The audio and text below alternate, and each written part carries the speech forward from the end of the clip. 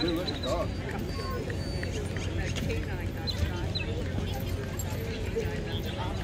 I know, I saw that. You can it a movie. And the dog shot off. Yeah.